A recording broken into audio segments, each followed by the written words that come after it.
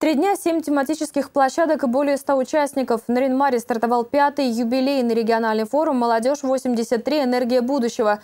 Мероприятие традиционно является самым знаковым ежегодным событием для молодежи округа. Основной площадкой в этом году стал Ненецкий аграрно-экономический техникум.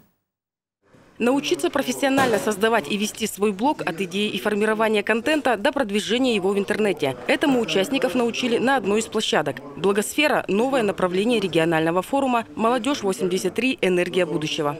Это актуальное направление, которое развивается не только у нас в регионе, но и в других. И хотелось бы узнать э, для себя что-то новое и как раз э, публиковать и рассказывать о своей деятельности уже непосредственно другим людям через э, сеть интернет. Кроме блогосферы, на форуме организованы еще шесть ключевых площадок. Это юнармия, ты предприниматель, добровольчество, волонтеры Победы, Арктическая школа права и Российское движение школьников. В рамках практических занятий активисты РДШ с экскурсией посетили телеканал «Север». Анна Селезнева в будущем планирует стать журналистом. Для нее это отличный шанс познакомиться с будущей профессией. Рассказали об особенностях и построении сюжета, что для этого используют журналисты. Показали блок монтажа, и меня очень восхитил э, блог, где режиссер следит за постановкой света в СБ, за э, тем, как снимается сюжет. Это меня очень восхитило, все эти приборы. Вот, я под впечатлением. Мне очень понравилась экскурсия. В программу площадок включены не только открытые практические занятия, но и мастер-классы и образовательные программы от спикеров из других регионов. Один из них – тренинг на тему «Ты и твоя команда». Мы определим собственную систему ценностей, определим, в чем состоит уникальность каждого человека и как из этого многообразия уникальных личностей собирать полноценную, целостную команду, в которой каждому удобно работать. Поэтому сегодня будет очень много э, упражнений, мало информации, мало лекционной части и много-много командной работы. Причем команды будут постоянно меняться, чтобы э, наши участники форума смогли понять, что команда складывается не долгими годами, а команда складывается тогда, когда каждый готов эффективно работать. На каждой из площадок участники смогут создать свои проекты. Лучшие из них после оценки жюри могут получить грант на его реализацию. У нас в конце предусмотрено, ну, введено уже не первый год, традиционно разыгрываются гранты на реализацию своих небольших социальных проектов.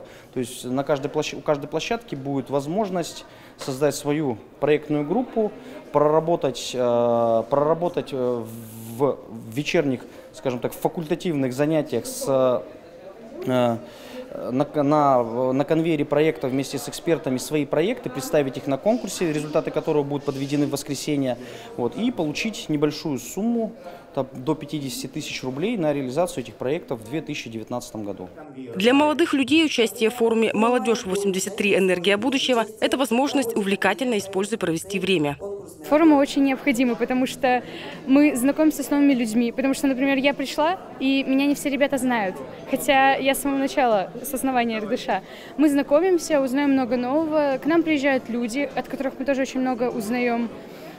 Это полезно, сплочает людей, дает возможность узнать что-то новое и поделиться своим опытом.